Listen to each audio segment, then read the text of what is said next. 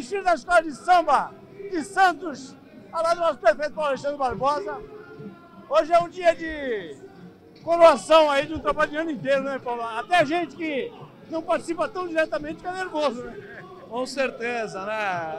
As comunidades das escolas aí trabalham durante o ano inteiro. A gente vê esses minutos aqui na avenida, mas isso resume o trabalho de um ano inteiro. Né? As pessoas se dedicando, fazendo fantasia, abordando fantasia, gerando emprego, porque o carnaval gera emprego, renda dentro da economia criativa. E a gente está muito feliz de consolidar nesse dia de hoje na Avenida o povo alegre, quem está desfilando feliz, quem está na arquibancada feliz. A gente trabalha para isso, são mais de duas mil pessoas que trabalham na organização do carnaval. E quando a gente vê as coisas acontecendo dessa forma, a gente fica muito satisfeito. É, e nós passamos aí, não é, Paulo? Um período de instabilidade econômica no país inteiro, evidentemente que acabou afetando também o desfile, mas, por um outro lado, a gente observou que as escolas tiveram que se superar naquilo que elas têm de melhor, que é a criatividade, né? Com certeza, Pedro.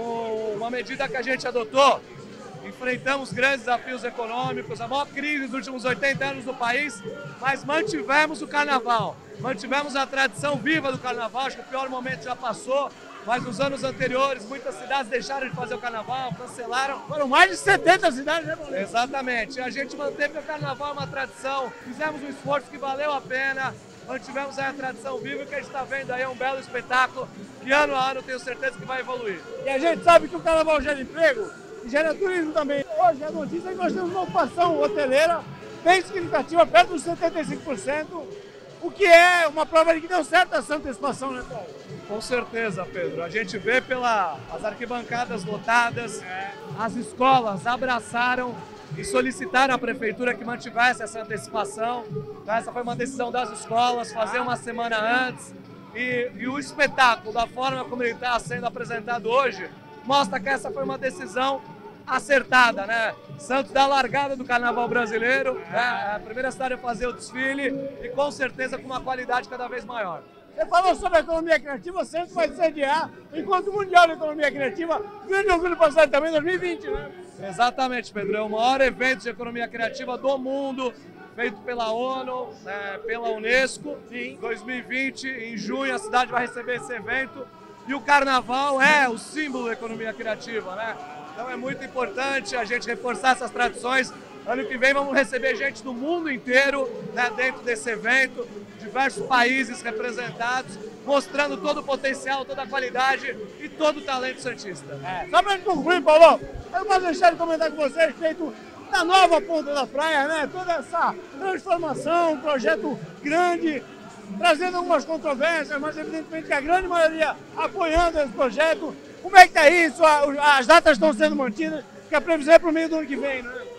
Exato, Pedro. Nós temos dois grandes projetos em andamento na cidade, né?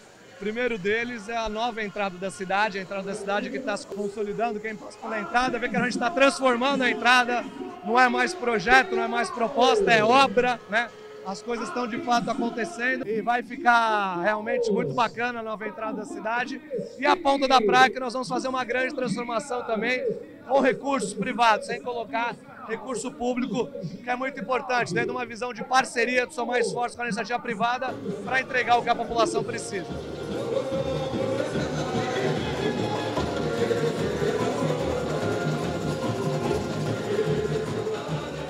Olha aqui na nossa presença no Fundo Social de Solidariedade Marinês Barbosa, curtindo o Carnaval de Santos aqui. A gente está vendo, né, Marinês, ano após ano, a, o resgate a, e a recuperação da grande tradição que Santos já foi um dos maiores carnavais de escola de samba do Brasil, né? A só seguramente participou disso e está feliz com a com esse resgate, não? Sem dúvida. E é, esse ano, então, bastante feliz com a volta das arquibancadas aqui, né? Que o povo solicitou, foi atendido, porque quem gosta de carnaval quer ver da arquibancada, já tem preferência.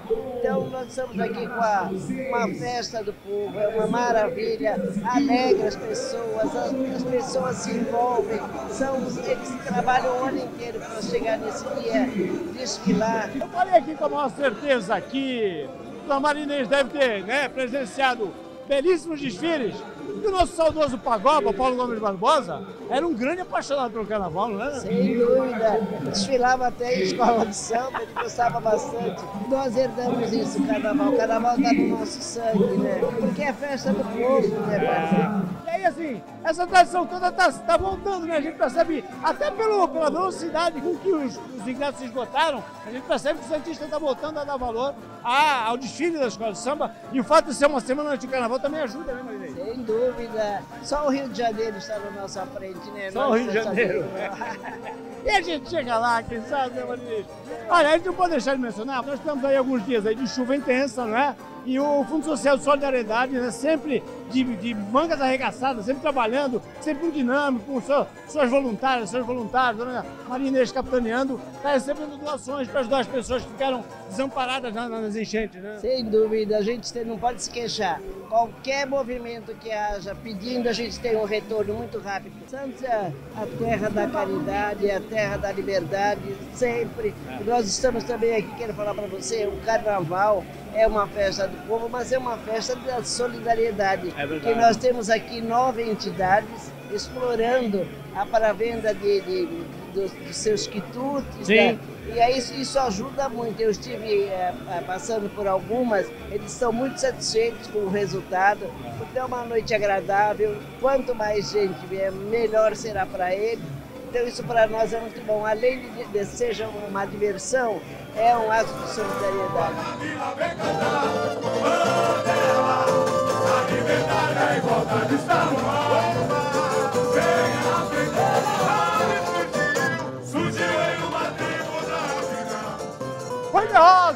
Presidente da Câmara Municipal de Vereadores. Foi! Ano passado nós estamos aqui conversando. Tinha, estava chovendo, que é uma dificuldade né? natural, mas imprevisível. Ah, e a, a nossa economia está num momento né, ma- mais complicado. A gente pode dizer que melhorou, mas comparado com os anos anteriores, a gente teve uma, uma melhora. E o carnaval, qual a tua avaliação até agora? Tem uma melhora também no desfile? Eu acho que sim, Pedro. Vou dizer bastante com, com bastante sinceridade. Eu estou muito feliz, É. estou muito contente. Acho que o Carnaval de Santos está tá revivendo os grandes carnavais, principalmente do meu tempo, lá de trás, né, dos anos 70. Santos volta realmente a ter uma condição muito melhor. É, e a gente estava comentando aqui, Rui, e nunca é demais a gente colher a impressão de quem conhece o assunto. O fato de também de, de ser uma semana antes do carnaval a realização de desfile ajuda bastante também, né? Porque muita gente gosta de viajar, ótimo para clubes, enfim. O fato de ter uma, ser uma semana onde nenhum outro lugar tem carnaval, não é feriado, ajuda demais, né? Olha, eu vou te ser bastante sincero, Pedro, eu não acreditava. É, no começo eu fui contra. No começo eu fiquei desconfiado, eu falei, não vai dar certo. Mas eu agora estou vendo que está dando certo. Foi, foi por uma questão circunstancial, né? Que foi quando a Grande Rio homenageou quando fomos lá sair na Grande Rio. Mas eu acho que está muito legal, eu estou muito feliz. Eu acho que a cidade de Santos consegue resgatar aquele carnaval em tempos áureos, né? Eu acho que, Pedro, eu não sei se eu estou muito empolgado, muito emocionado pelo que eu estou vendo aqui hoje, Ah. mas eu estou tão feliz de saber que o carnaval de Santos volta a esse estágio. Mas me parece que é um sentimento comum. Todo mundo com quem a gente conversou está demonstrando esse entusiasmo. Agora deixa eu falar com o Rui sobre um outro resgate e de um assunto que ele entende mais ainda do que carnaval, que é o futebol, né? Eu tenho visto, Rui, com muita satisfação, a realização dos campeonatos aí da Varsa, de cinquentão, sessentão, que nós temos a final agora há pouco tempo. E você é um grande incentivador disso, né, Rui? Na verdade, eu saí da várzea, né? É. Por exemplo, hoje nós temos um problema. Nós já não temos os campos como tínhamos antigamente. Então, eu tenho ajudado a promover os campeonatos de 30, 40, 50, 60. Eu acho que isso também resgata. Como tem gente voando baixo com essa idade, né, Rui? Tem gente preparada e com uma vontade tremenda. Então, o Santos também volta a ter. Porque Santos, porque Santista e Jabaquara sempre se privilegiaram de ter esses jogadores nas suas equipes. Sim, então, nós precisamos motivar até chegar ao campeonato amador e poder fazer uma escada para que esses jogadores voltem ao cenário do futebol brasileiro.